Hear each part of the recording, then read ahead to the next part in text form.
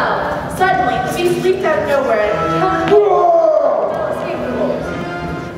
Thumps the the the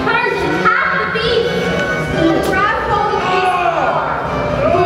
him. The beast to ah! stay on his feet. Hmm. Once he hurled the beast collapsed, exhausted and in pain.